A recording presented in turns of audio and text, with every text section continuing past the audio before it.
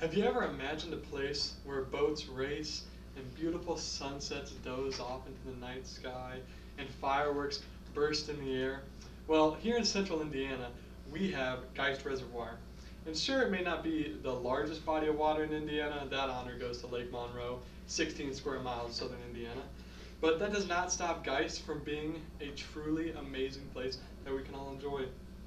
The three of us were amazed by what we found, um, what we found out about Geist. Um, we're here to talk about um, Geist and how it was a great addition um, and how it grew the city of Indianapolis. It's a place that many of us, um, we sure didn't know a lot about it, and I'm sure many of you guys may not know like the history about Geist. Whether it's the historical factor of Geist that interests you or the variety of ideas, it, Geist offers an endless supply of things to do. And you may be wondering, as I said, uh, about the history of Geist. So what is the history of Geist? So, the Geist Reservoir used to be, is, is um, on top of what used to be a small farming community called Germantown. In the late 1890s and early 1900s, that is what um, what Geist Reservoir now looks like. As you can see, there's you know small barns and small covered bridges that littered throughout the area. They said um, that there was only three or four stores throughout the entire town of, of Germantown, and there was one schoolhouse and one church. And then that was the only thing that was in Germantown. But the most notable factor about it was that it was in a valley with a river running through it.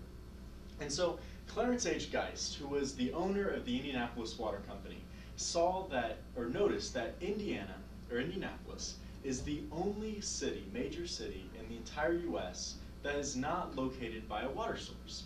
And so now this is a problem because people have to drink and you need it to bathe, and water is a very important substance. And so he saw the need for water, and he was going to profit off of this. And so what he did was he purchased all of Germantown, and throughout about 10 years of planning, in about 1914, the Geist Reservoir construction started. And the construction lasted about 30 years and ended in 1943. He died in between there, but the construction still did go on. So for about 30 years, it kind of left as just that, just a reservoir with absolutely nothing around it. Um, in about 1970, they started doing debates. What should Geist be? Should, it should we double the size so that we can supply more water for Indianapolis? Or should we start to develop it and put houses and things? And so obviously, um, as you can see now, we chose houses. And so they made two or three um, small subdivisions, and it just rapidly picked up the growth of the town. And so there was tons and tons of houses, and it exponentially grew until what we have now, where it's home to hundreds or thousands of people and uh, of the upper class. So that is about how it um, how it is now. So as you can see here, um, you have the Noblesville up here. So this map's about the same perspective. And you can see that these are all the roads and streams and things. That is it. And as you can see over here that it's almost entirely developed. All these little dots and things are streets and stuff. And so this whole thing, there's probably that many roads in just one quarter mile now. So as you see, it just exponentially grew into an amazing place that's now home to many influential people that were brought in because of Geist Reservoir. So now we'll go over to Andrew to tell us what they do. As he said, Geist is home to many rich, um, powerful, and influential people. Now, those people like to indulge in certain extravagant um, activities.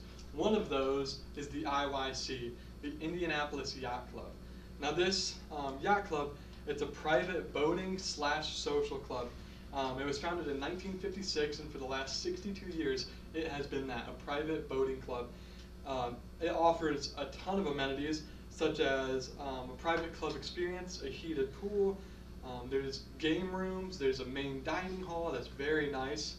Um, also, there's a picnic area, secure parking, and also it offers 24 access to boat slips and boat launches. And each slip offers electricity and water to those boats, which is very handy if you have a yacht, you want to hook it up to the electricity so you can watch um, some football on your yacht. What gets, nothing gets better than that. Um, now the second thing is the ISC. That is the Indianapolis Sailing Club. Now this offers a bunch of cool things, um, such as a sailing camp and racing. Um, I personally have always wanted to try the sailing camp because my grandfather was a sailor, and I've always wanted to learn how to do that. So that's something that's really cool that only the ISC offers on Geist. Um, also the races, Um, they have like sometimes Tuesday, Wednesday night races, which is really cool. If you look out on Geist, you might be able to see some sailboats racing. Now this was this was founded in 1954 by, a guy- by a guy named Jack Menzner. Um, he was German from Germantown, and he said he said that he had sailing in his blood. So him and 13 of his buddies got together, created the ISC, and now today it's a huge thing. Now our expert, a good friend of mine, also uh, a manager and a maintenance manager at Geist Marina. His name is Blake Forbes. Now I asked him a couple questions, um, two specifically really profound um, questions about Geist. Um, and I asked him what makes Geist a special place. And his answer to that was Geist is special because it's a vacation destination. He said that he's seen people from all over the country who come to Geist to experience it.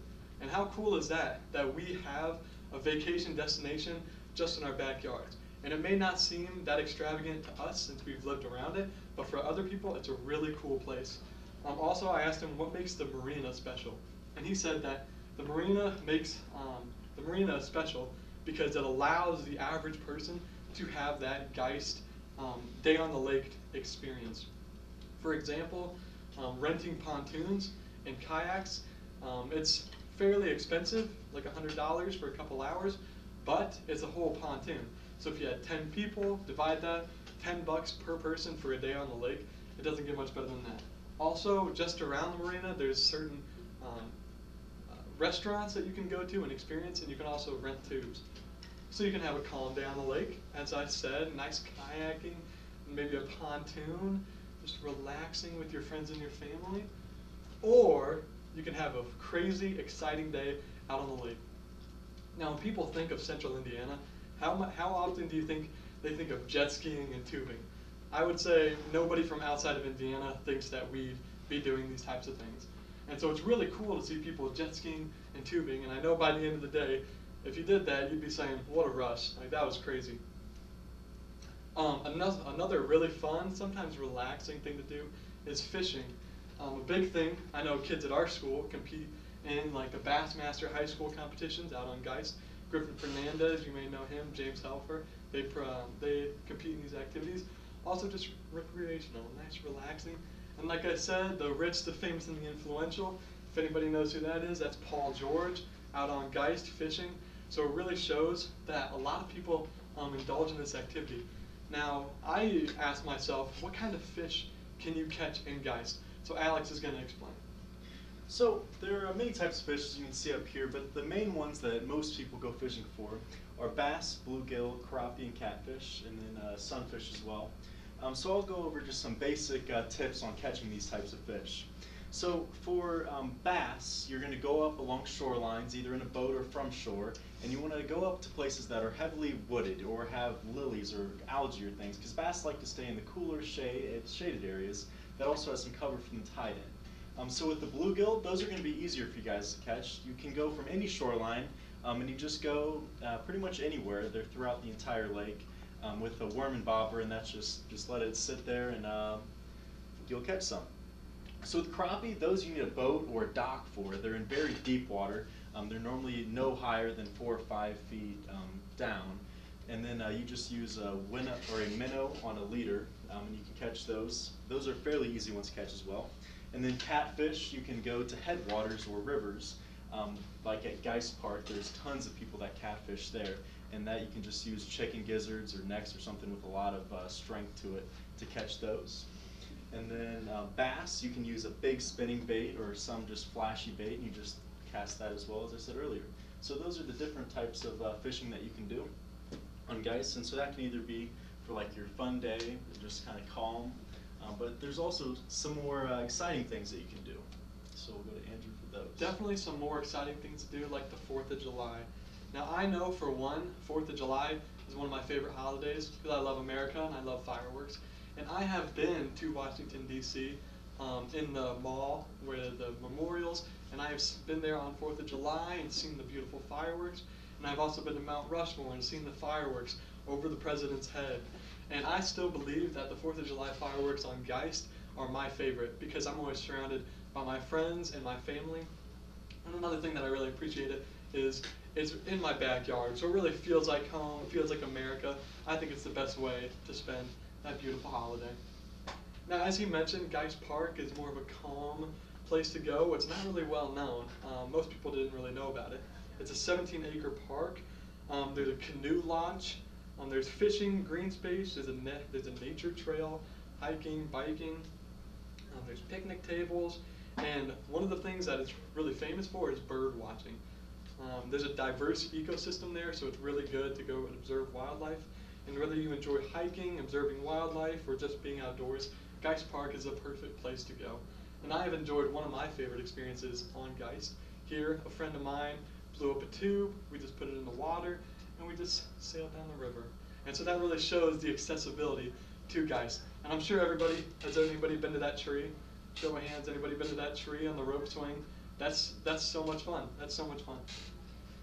And the fun doesn't stop when the summer ends, though. During the fall, Geist Park, beautiful, beautiful. Nature trail biking, ice fishing during the winter, a little dangerous, but you take your risks, you know. Ice fishing, skating, a lot of people do it, it's a lot of fun.